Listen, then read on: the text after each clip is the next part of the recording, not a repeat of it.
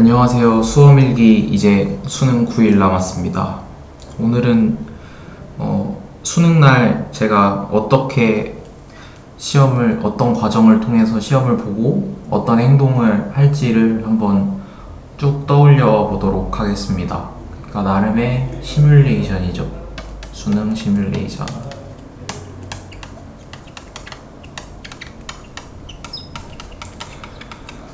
음, 짧게 해보도록 하겠습니다. 일단 수능 전날부터 시작이죠. 뭐 말하자면 그 전전 전부터도 계속 시작이지만 수능 전날 일단 9시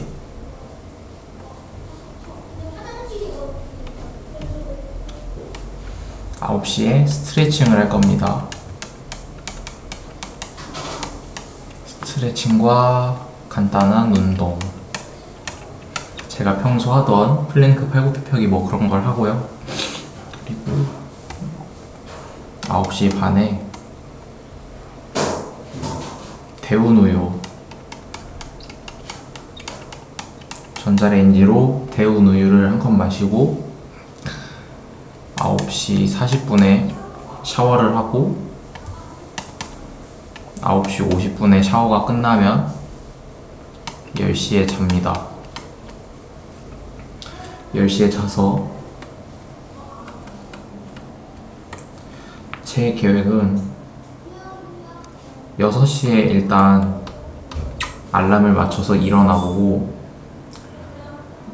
일어나고서 개운한 느낌이 들면은 그냥 바로 일어나고 아니면은 7시까지 다시 잘 건데 아마 7시까지 다시 잘 것 같아요. 7시까지 자고 7시에 일어나서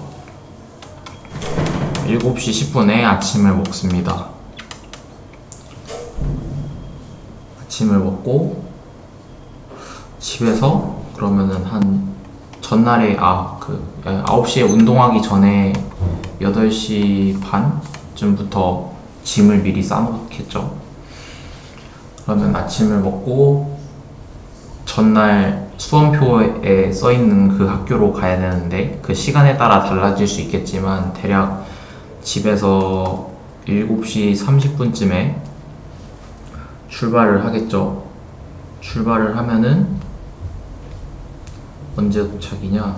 그 학교에 8시쯤에 도착을 하겠죠.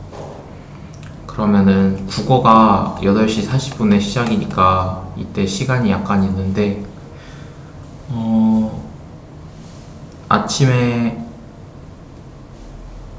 8시 한 20분까지는 시간이 있고 그 이후에는 그 뭐 주의사항 같은 거 안내를 해줘가지고 책을 아마 못 보게 될 텐데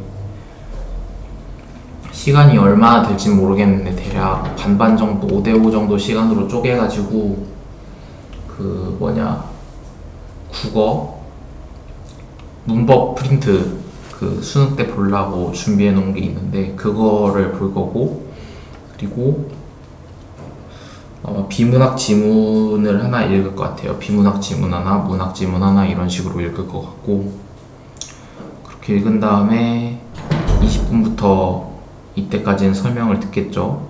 그리고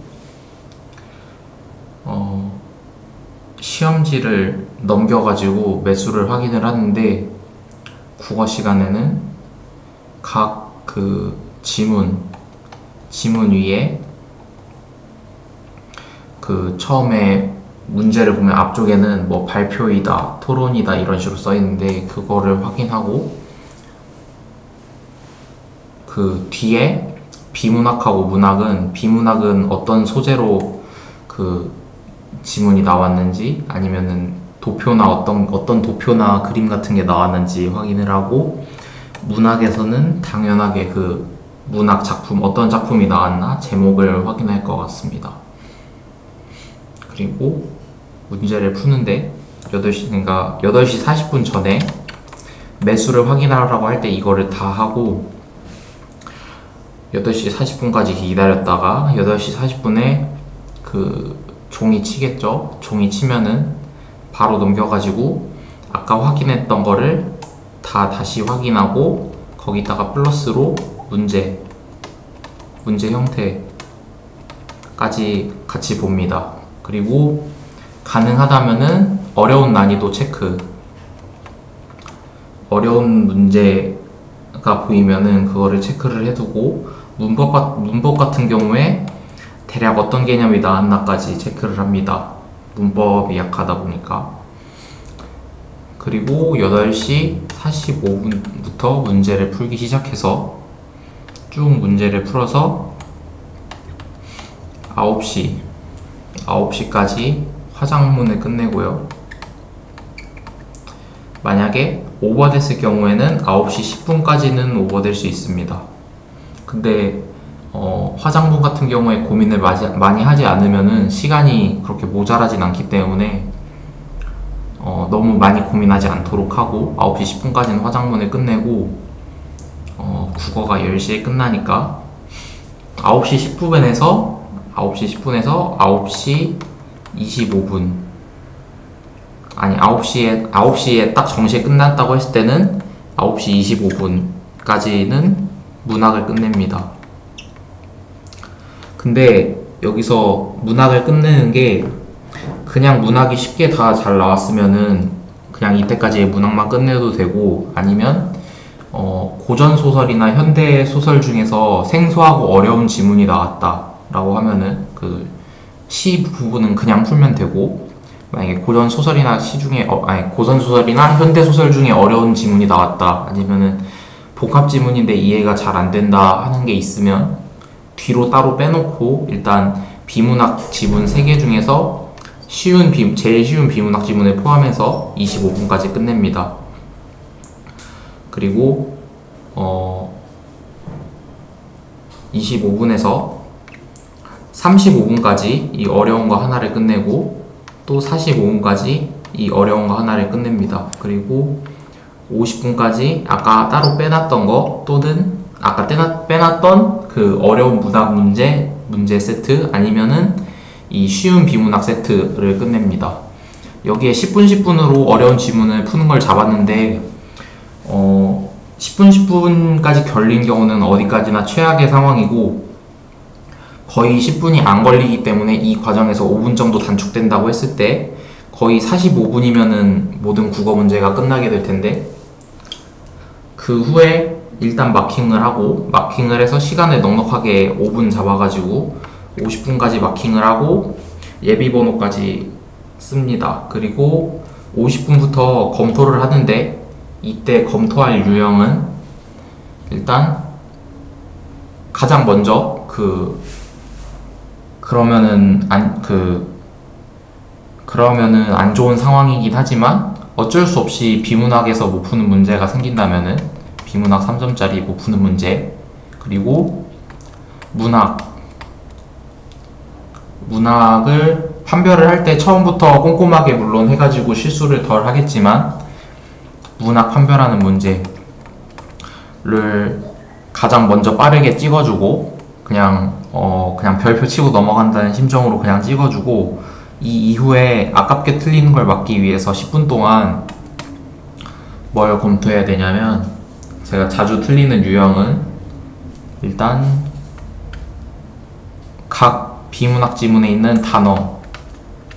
이 단어 문제를 비문학 문제를 그냥 풀 때는 쉽게 풀면서 넘어가서 시간 단축을 했겠지만 그 시간을 다시 끌어다 써가지고 그 단어의 범주라든지 아니면 대체할 수 있는 단어라든지 더 면밀하게 검토를 해서 각 비문학 지문에 딸려있는 단어 문제 절대 놓치, 놓치 지 않도록 하고 그리고 두 번째는 어 문법.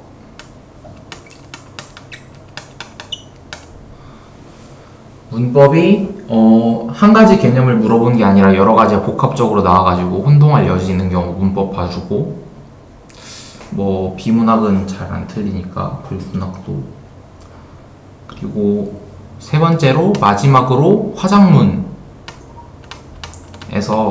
그 문법을 제외한 나머지 화작 문제에서 1대1로 대응이 다 되는가 답과 정확히 그 근거 문장 찾아주고 이 다음에 또 시간이 남으면 마지막으로 다시 돌아가서 이 문법 단어 검토를 조금씩 해주면 될 것 같습니다. 이렇게 해서 10시에 국어가 끝나고 그리고 10시 40분이 수학이 시작이죠. 그러면은 30분 전에 이 30분 동안 시간이 있는데 이 시간에는 어 일단 수학 그 킬러 문제 개념이라고 해야 되나? 그 정리한 노트를 제가 만들 건데 그래서 그 규토 규토 엔제랑 그 삽자루 2130이 있는 그 킬러 개념들을 이렇게 쭉 써가지고 한 어, 30개 정도 만들 건데 그거를 쭉 하나씩 정독을 하면서 문제 형태를 떠올릴 겁니다. 그리고 수학을 10시 40분부터 푸는데 어, 일단 10시 40분부터 30분 그러니까 11시 10분까지 어, 문과 수학에서는 아까 들은 강의대로라면은 그리고 경험적으로 26문제 정도가 쉬운 문제이기 때문에 24문제였나? 네, 이 24문제가 쉬운 문제이기 때문에 이 24문제를 끝냅니다. 이거 말 그대로 끝낸다는 거는 그 후에 검토가 필요 없을 정도로 완벽하게 아주 꼼꼼하게 풀이 과정까지 자세히 쓰면서 푼다는 거고 11시 10분까지. 그리고 11시 10분부터 11시 30분까지.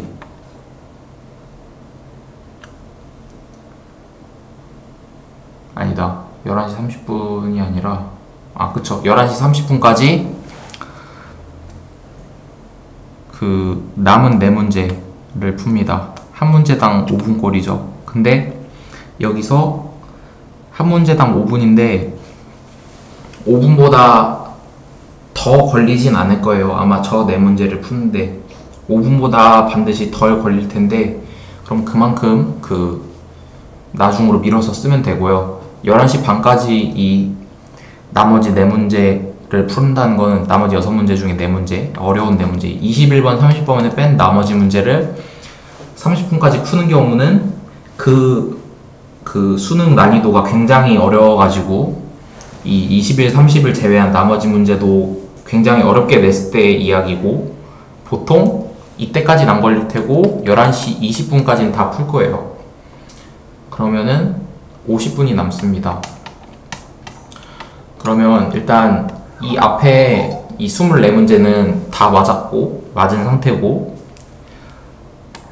얘네를 그냥 어느 정도 답을 만족스럽게 내서 풀었고 그리고 이제 20일, 30이 남은 상태인데 문제 유형이 여기서 음, 나뉘죠. 21번이 그 격자 개수 세기 문제고 30번이 미적분인 경우 그리고 21이 미적분인 경우랑 미, 미적분이고 30번이 개수세기 경우인 경우 보통 어 이거일 가능성이 굉장히 높기 때문에 최근 트렌드도 그렇고 여기를 먼저 생각을 해보면 여긴 또 나뉘겠죠 어 21, 30으로 했을 때 일단 30번 미적분, 21번 개수세기. 이 개수 세기가 쉬운 경우가 있고 어려운 경우 있고 미적분이 쉬운 경우 있고 어려운 경우 있겠죠. 어, 둘 다 쉽다라고 하면은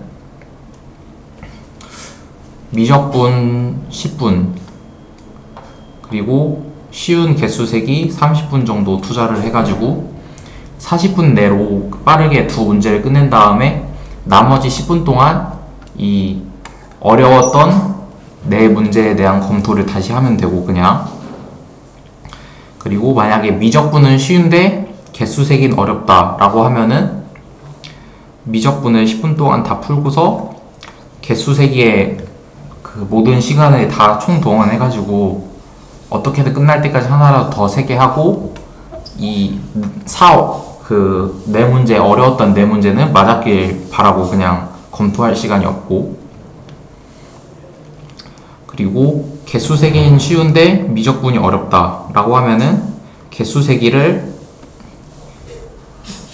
30분 만에 끝낸 다음에 나머지 30분을 전부 다 미적분에 투자해가 음, 투자하기보다는 이럴 경우가 매, 매우 낮긴 한데 이 경우에는 차라리 이게 낫겠네요. 개수 세기를 40분을 투자해가지고 최대한 풀고 미적분을 10, 그 10분 정도 투자를 해가지고 먼저 5분 동안 최대한 어떻게든 모든 가능성을 따져보면서 풀려고 한 다음에 만약에 풀지 못한 경우 가장 그 먼저 그 이 미적분 30보다 이 네 문제를 먼저 검토를 10분 동안 한 다음에 마지막 5분 동안 어떻게든 어 직관을 쓰든 어떻게든 이거를 30번이니까 찍어내면 되겠고 만약에 개수 세기도 어렵고 미적분도 어렵다 라고 하면은 어 이 둘 다 어떻게 접근해야 될지 내가 모르겠는 경우인데 이 경우일 가능성은 굉장히 희박하고 일단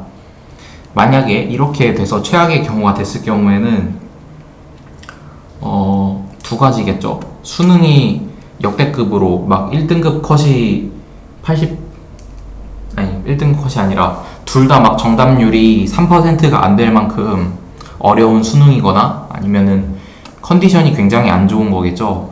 근데 수능이 이렇게 어려웠을 경우에는 어, 이럴 가능성이 적을 뿐더러 어, 좀 잘 상상이 되지 않는데 이 경우에는 등급 컷이 어차피 매우 낮을 것이기 때문에 이 두 개를 다 틀리, 틀리고 나머지를 다 맞춘 게 오히려 더 좋을 수도 있어요. 그리고 컨디션이 안 좋은 경우에는 이걸 회복하기 위해서는 일단 확실하게 풀 수 있는 문제로 제 템포를 찾는 것이 중요하기 때문에 두 이유 어떤 이유건 이 검토를 가장 먼저 합니다. 이거를 일단 버려두고 검토를 한 다음에 검토를 충분히 해요. 10분 이상 충분히 합니다. 충분히 해서 얘네들이 충분히 다 맞았다. 그래서 92점이 안정적으로 확보가 됐다는 확신을 가진 후 다시 봅니다. 다시 보는데 개수 세기와 미적분이 둘 다 접근이 난해한 경우 이 21번의 경우는 5분의 1로 찍어서 맞출 확률이라도 있기 때문에 이 미적분의 모든 것에 투자합니다. 그래서 남은 시간 동안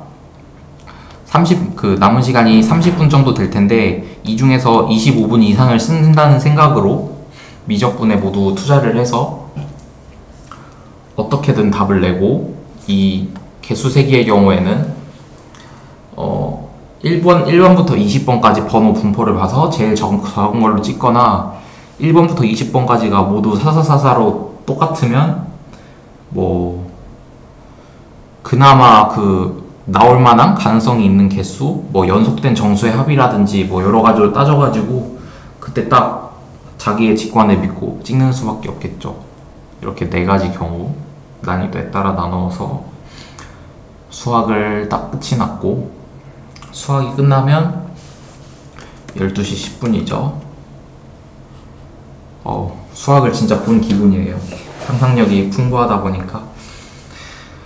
끝나고 12시 10분에 점심을 먹겠죠. 점심을 먹는데, 어, 예, 점심을 먹는데 천천히 좀 먹는 게 좋겠죠. 그래서 12시 30분까지 점심을 천천히 먹고, 1시 정도부터는 책을 못 보게 하니까 그 전인데, 그 전에 밥 먹고 바로 책을 보면은 탈날 수도 있으니까 뭐 안 날 것 같으면 그냥 봐도 되는데 뭐 어차피 경험상 국어가 끝나면 긴장이 거의 다 풀리더라고요. 그래가지고 끝나고서 어 국어 수학에서 좀 많이 뭉쳤던 머리를 풀기 위해서 한 5분에서 10분 정도 좀 돌아다니거나 해가지고 머리를 좀 맑게 해주고 20분 동안은 음, EBS 족보 EBS 족보랑 플러스로 어 이때 아마 문제? 문제를 들고 갈 건데 문제를 들고 가가지고 실전 모의고사 1회분을 푸는데 쉬운 유형은 말고 빈칸하고 어 빈칸하고 좀 어려워하는 순서? 순서나 문장 넣기? 이런 거를 위주로 한 다섯 문제 정도? 다섯 문제에서 열 문제 정도 되는 재량이 되는 정도까지 풀어준 다음에 1시부터 듣기를 하겠죠? 듣기를 해서 어, 듣기를 할 때는 듣기를 들으면서 아니 아니다. 듣기를 하기 전에 그 넘겨가지고 문제지 확인을 하겠죠? 문제지 확인을 할 때 난이도를 봅니다. 그래서 딱 읽을 그 읽어봤을 때 난이도가 어렵고 지금 어, 내 컨디션이 별론 것 같다라는 생각이 들면은 듣기를 들으면서 같이 뒤에 있는 18번, 19번을 어떻게든 찔끔찔끔 풀어가지고 시간을 단축하기 위해 노력을 해야겠고 만약에 딱 문제를 봤는데 별로 어렵게 느껴지지 않는다라는 생각이 들면 그냥 듣기를 풀 때는 듣기에만 집중을 하고 정말 시간이 남아서 어쩔 수 없을 때만 조금씩 풀어주는 걸로 합니다.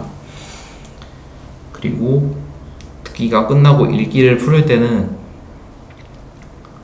일단 어, 빈칸을 가장 먼저 봐서 EBS 연계가 체감이 돼가지고 EBS 연계로 바로 풀 수 있는 문제가 있는지 확인을 합니다. 빈칸에서 직접 연계가 된 문제. 그래서 그런 문제가 있다면 바로 한번 풀어주고서 넘어가고 그때 지문을 너무 자세히 읽진 않습니다. 그리고 이걸 딱 끝내주고 나서 처음 18번부터 한 20 몇 번까지 어, 제목, 요지, 뭐 주제 그거랑 플러스로 도표, 내용 일치, 뭐 지칭 추론 이런 것들을 먼저 풀어줍니다. 가장 쉬운 유형. 그 다음에 어법은 풀지 않습니다. 어법은 괜히 어, 봤는데 모르겠으면은 나 당황해가지고 뒤에 읽기를 풀 때 영향을 줄 수 있기 때문에 되도록 쉽게 풀 수 있는 단어 라든지 단어 문제라든지 이런 주제 문제를 먼저 풀어주고 뒤로 넘어가서 이어서 주제를 그 빈칸에 풉니다 빈칸. 왜냐면은 이 주제를 풀 때 사용하는 이 뭐라고 해야지? 사고 방식과 빈칸에 풀 때와 유사하기 때문에 빈칸이 주제 위주로 나와서 그래서 빈칸을 같이 풀어주고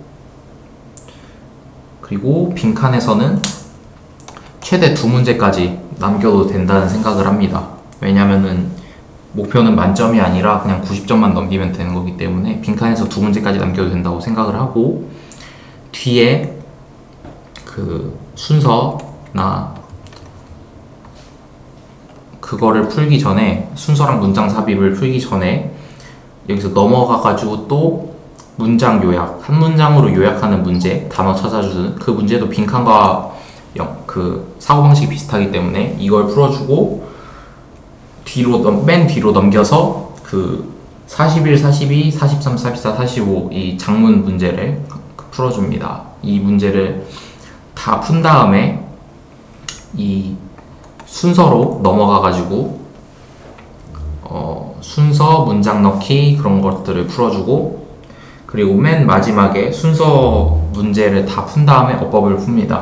근데 만약에 순서 문제에서 걸리는 게 빈칸에서도 모르게 확실하지 않은 게 두 개 이상이고 순서 아니 그러니까 빈칸과 순서 같은 것들을 합쳐가지고 모르겠는 게 세 개 이상이 나온다 아니 4개 이상이 나온다 라고 하면은 1등급이 위협받는 상황이기 때문에 그때 어법을 풀어가지고 좀 안심을 하고 그 다음에 다시 이 모르겠는 문제를 집중적으로 봅니다. 근데 영어는 90분밖에 아니 듣기를 빼면 50분밖에 안 돼가지고 사실 시간 분배할 건 말이 없는데 순서는 이런 식으로 하고 영어가 끝나고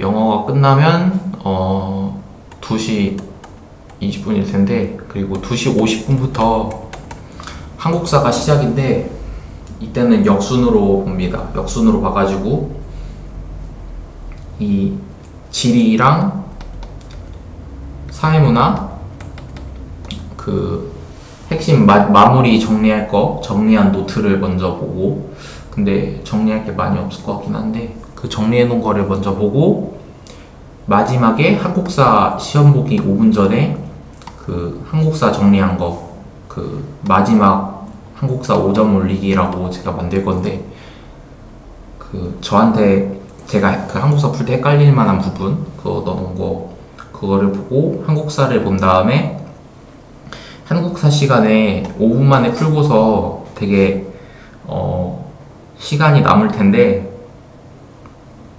남는 시간에 정 피곤하면은 한 10분 정도 자고 일어나도 되고 어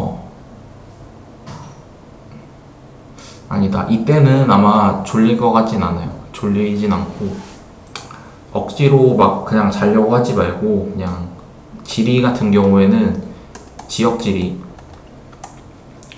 쭉 떠올려 가지고 각 지역의 중요 사항들 그 머릿속으로 떠올리거나 아니면은 거기 시험지에다가 여백에다 이렇게 그리면서 지역지리 떠올려 보고 사회문화 같은 경우에는 어 자료.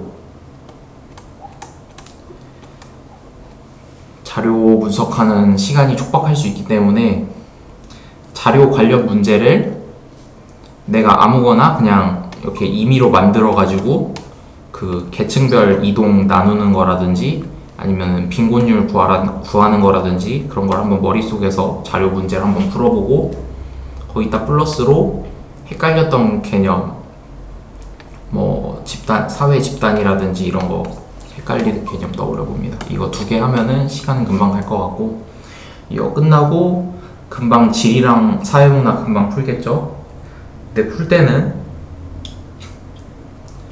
지리 같은 경우에는 어 그냥 푸는데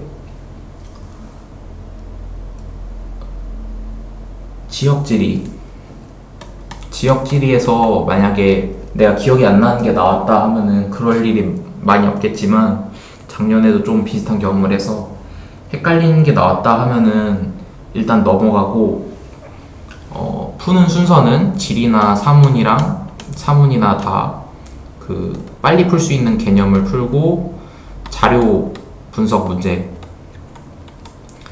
두, 두 문제 정도 나올 텐데 이 문제를 각각 5분씩 써서 충분히 검토할 수 있도록 나머지 개념 문제를 한 문제당 1분 내외로 끝낼 수 있도록 합니다. 그리고 마지막 질이랑 사문이 다 끝나고 아랍어를 하기 전까지 약간의 시간이 있는데 이 시간에는 어 6월, 9월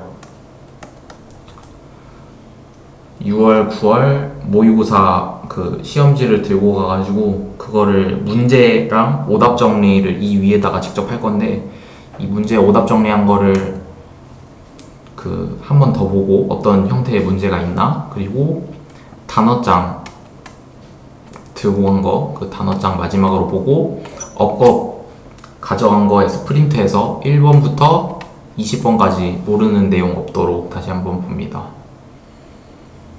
이렇게 하고 아랍어를 보고 끝. 그리고 그 뒤에는 아마 집으로 와서 쉬고 채점을 하겠죠. 그러면 이렇게 해서 수능 날, 아, 그 수능 전날부터 수능 당일날 끝날 때까지 어떤 식으로 진행이 될지 시뮬레이션을 해보았습니다. 수고하셨습니다.